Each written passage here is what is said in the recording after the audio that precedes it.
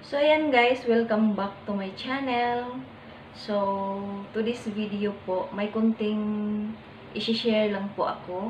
So, ayan guys, samahan niyo ako guys.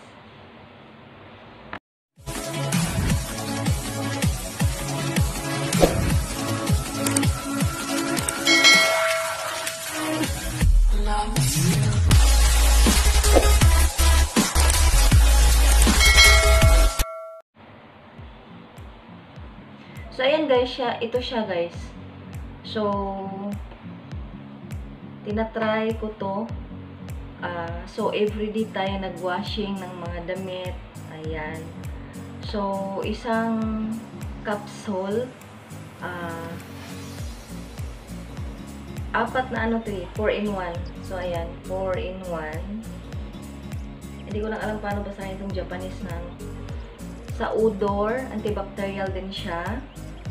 So, ayan, try natin i-open. So, time na maglaba tayo ngayon. So, ipapakita ko lang sa inyo ha. So, ayan siya guys. 48 capsule inside. Ayan.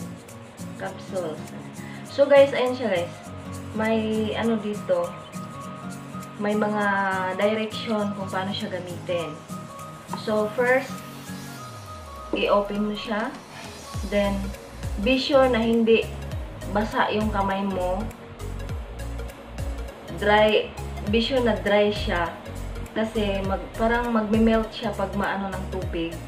So, magme-melt siya. So, yung, yung, ano, yung liquid na sa, ano, sa loob, parang mag-ano siya, burst. Ayan. So, ilagay ito sa safety na lugar kasi syempre yung mga bata baka, baka paglaruan napakadelikado po siya. So tatago kung na hindi maabot ng mga bata. So ayan siya guys. So time na maglaba tayo ngayon. Ang bango niya grabe. Mm. mahal siya guys. Expensive. So ayan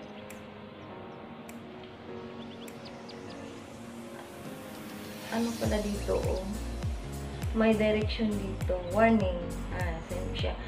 Ah, may direction po dito. Handle capsules with dry hands. Ayan. Only one. Put capsule directly into the empty drum. So, una, ilagay mo muna to siya sa washing, ano mo, sa washing machine. Ilagay mo siya. Then next, saka mo ilagay yung mga damit. So, ayan, mga damit. So, may ano dito, 2.5 2.5 2.5 to 6 kg. 1 capsule. So, 2.5 to 6 kg. So, 1 capsule lang siya. So, 7 kg. So, 2 capsule na siya. So, konti lang yung nilalaban ko everyday. So, gagamit lang ako ng isang capsule. So, hindi hindi everyday gamitin to guys. Expensive siya. So, I think twice a week or once a week saka ako maglagay nito. So, no need no need soften na ba, hindi na ako maglagay ng mga kumbaga downy mga pabango-pabango sa damit. So, ito na siya guys. Ayan, ang bango. Ayan oh, ang bango, grabe. Siguro ang, ang bango ng mga damit dito. So, ayan guys, maglaba na tayo.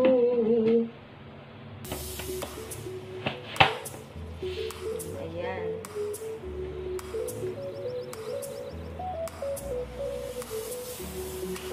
Ayan siya. Try nyo din kung kung meron kayo dyan, mga ano, try nyo. So, first time ko tinatry ngayon. So, malambot yung damit daw. At saka mabango yung mga mga germs germs. so, ayan guys, maglaba na tayo guys.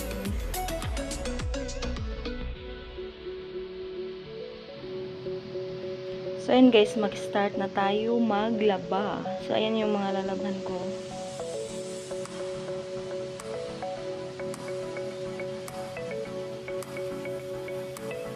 Ayan.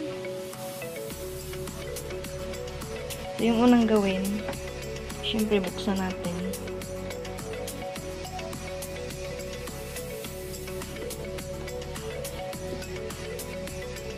So, isang ano lang, isang capsule lang. Ilagay muna natin to siya sa loob. So, ayan siya guys.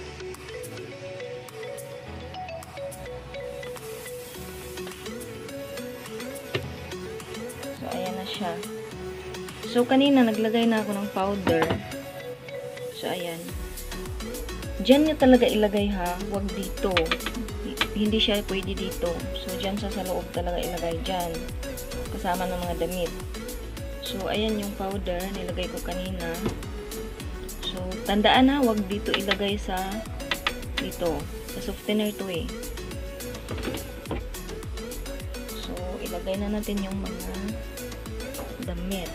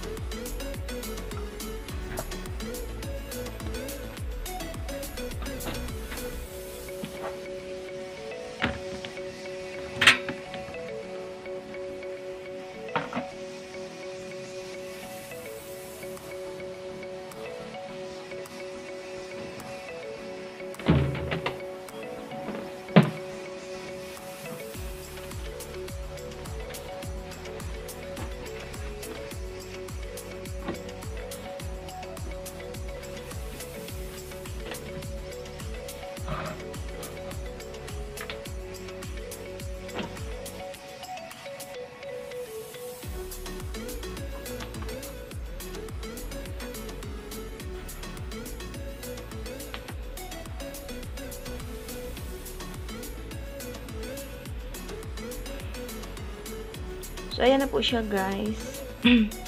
Ready na po. Ayan.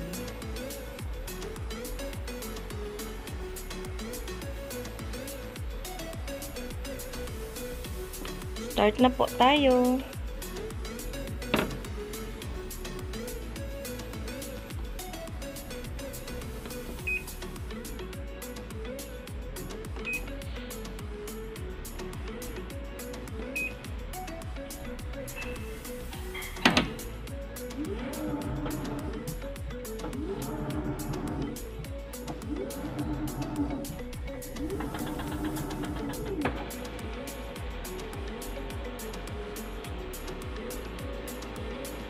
So, may seconds dito. 85 minutes and 29 seconds. May time siya. Time siya na matatapos yung pag-wash, pag-washing natin. So, 85 minutes and 29 seconds. So, 1 hour mahigit yan.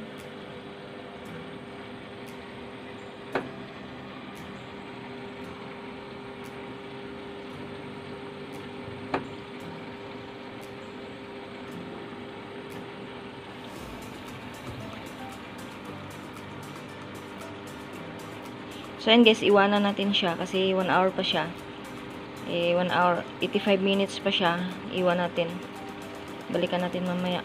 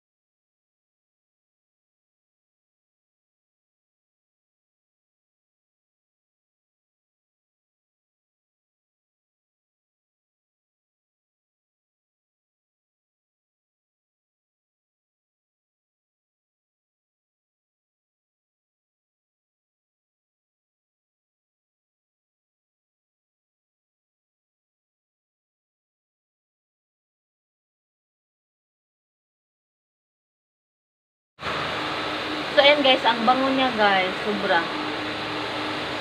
Tapos na. So, ayan na guys. Tapos na po. Tapos na yung pag-washing natin today. So, sana nag-enjoy po kayo. Ayan, maraming maraming salamat sa inyong support. Ayan, to all my teams, founders, admins, my co-members, and to all my friends also na nandito ngayon. So, maraming maraming salamat. God bless everyone. See you my next vlog.